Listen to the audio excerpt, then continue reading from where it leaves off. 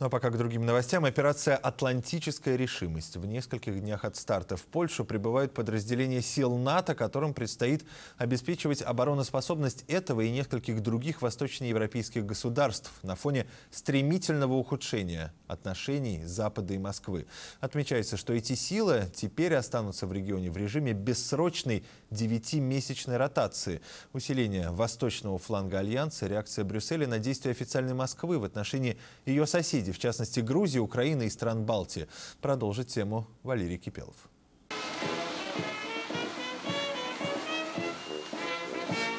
НАТО в Польше. Альянс, как и планировал, усиливает свое присутствие в Восточной Европе. По воде, суше и воздуху более трех тысяч солдат и офицеров, 8 десятков танков и несколько сот единиц боевой техники прибыли в Польшу для проведения учений и координации взаимных боевых действий в случае нападения государства-агрессора.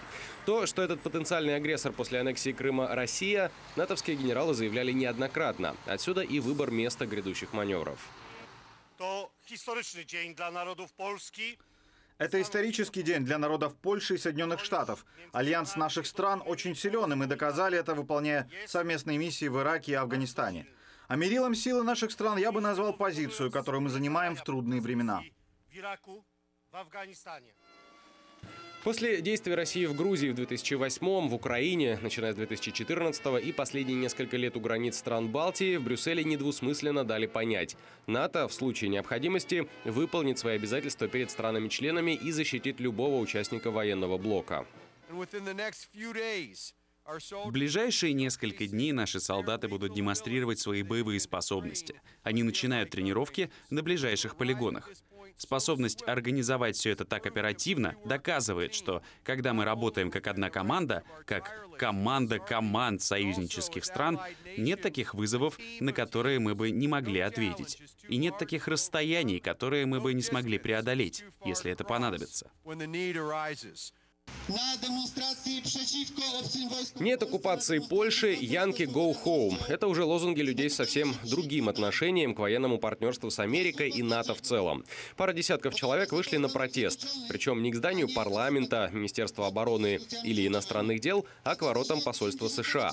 Именно здесь, по мнению пикетчиков, формируется политика официальной Варшавы. Польша сегодня потеряла последние капли своего суверенитета, так как на ее территории находятся чужие войска. Я уже ничего от нашего правительства не жду.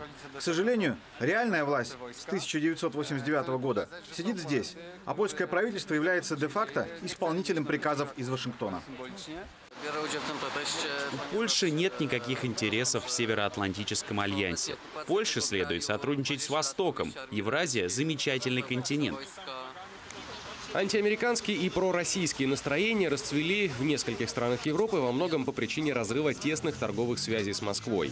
После введенных Западом санкций в отношении Кремля экономика менее богатых европейских государств сильно пострадала. Я услышал, что проходит демонстрация против американской оккупации в Европе. Так что я пришел сюда, ведь я французский патриот.